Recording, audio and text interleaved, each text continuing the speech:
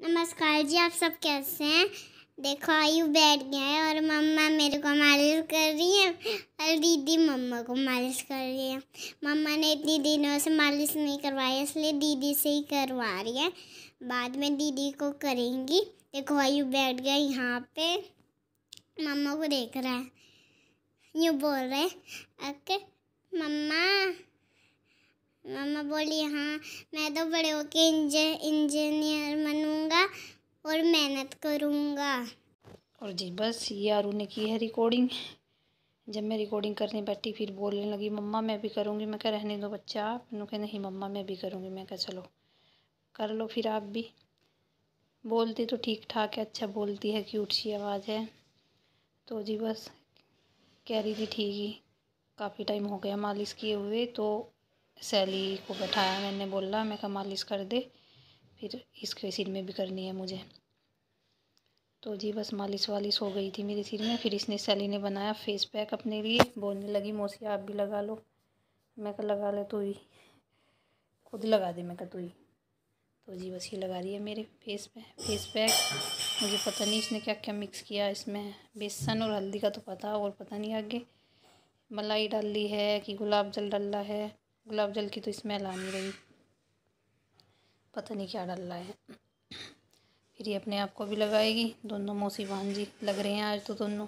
मालिश वालिश करने में, फेस पैक लगाने में। तो जी लगा रही है ये।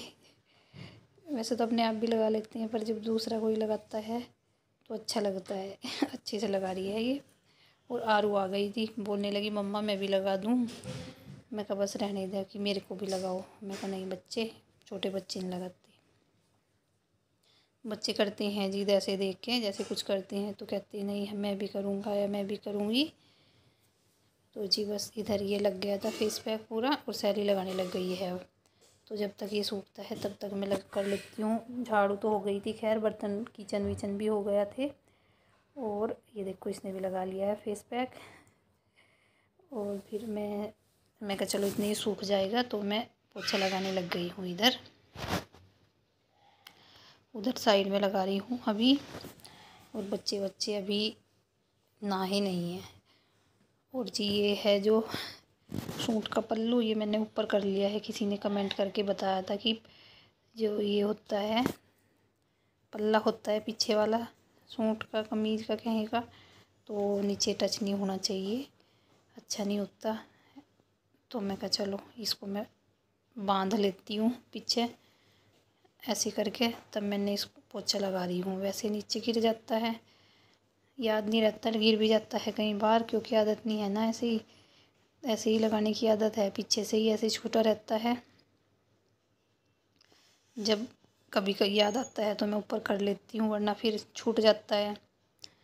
तो जी, बस पोछा वोछा इधर लगा रही हूँ मैं आरू नहीं नहाई। अभी तक ये बच्चे बच्चे कोई नहीं नहाए हैं दोनों। कोई भी क्या कोई नहीं, नहाया दीदी तो है ही नहीं यहाँ पे घर पे। खैर और जी जी चली गई थी सुबह ही नाश्ता करके।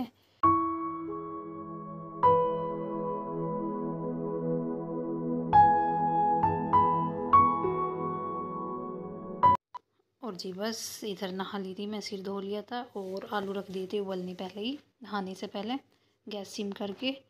और ये इसको लगा है ये भी नहा लिए थे दोनों। आयु भी और आरू और सैली गई है नहाने के लिए। और इसको लगी है ये रुआवजा है जो मीठा शरबत वो बनाने की लगी है।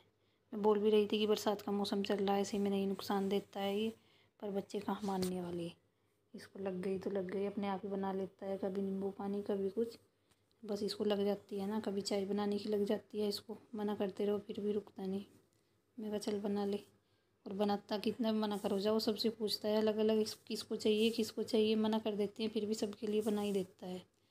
और जी बस मैं बना रही हूँ, इधर आलू और दही का रायता, ये जो हमारी दोनों बच्चियाँ हैं, इनको बहुत ज़्यादा पसंद है, ये ज़्यादा ही फेवरेट है, वैसे तो सबको अच्छा लगता है, पर इनको कुछ ज़्यादा ही लगता है अच्छा।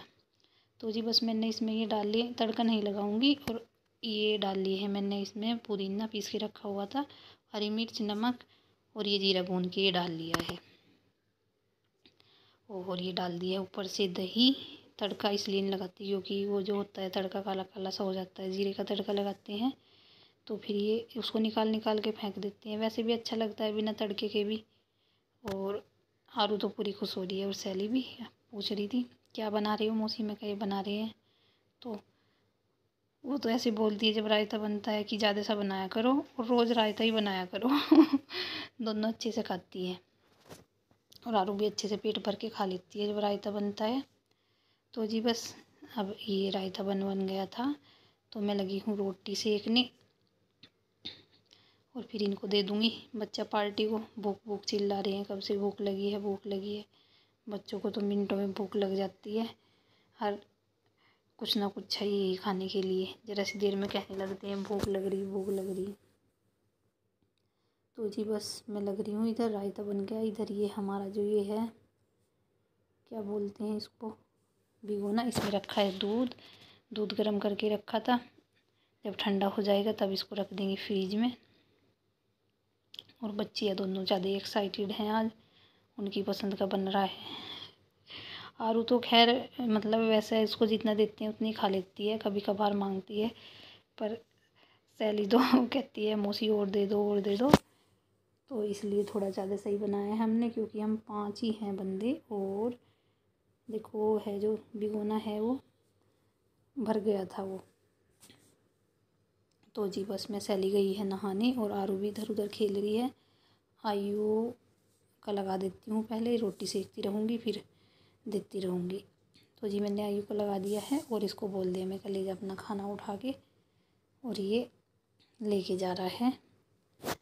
और आप भी बना के देखना, ये बहुत अच्छा लगता है। आलू का रायता, लौकी का बनाते हैं। लौकी का इतना अच्छा नहीं लगता। और इधर ये देखो, उधर वो बैठा है पीछे, आयु छिपके बैठा है। और इधर आरू को बैठा दिया है मैंने, क्योंकि देखो, स्कूल तो जाते हैं, जब बच्चे स्कूल जाते हैं तो उनका रूटीन बना रहता है। तो स्कूल में जाएँ, कुछ स्कूल का वर्क करे घर आके, और अभी ये घर पे ही हैं तो बहुत मुश्किल होता है इनको पढ़ाना। तो जी बस, आप कमेंट करके बताना आपको